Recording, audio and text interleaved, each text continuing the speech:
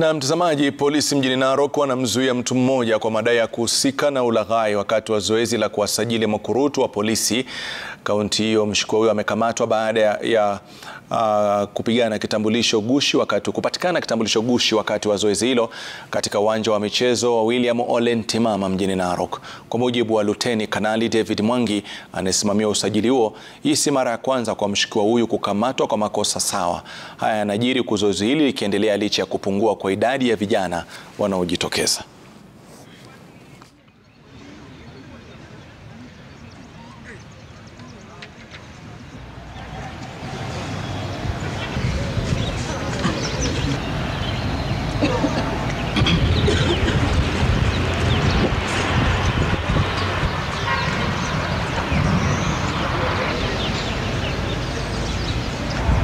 And uh, unfortunately, it is a known case that uh, keep on reappearing every time. We have one candidate who keep on changing his ID card. We have we have been able to get hold of him. Last year he was here. He was caught. He was handed over to police. Uh, and even today when we came, we met the guy. Now he have a new, completely a new ID card with a different ID number.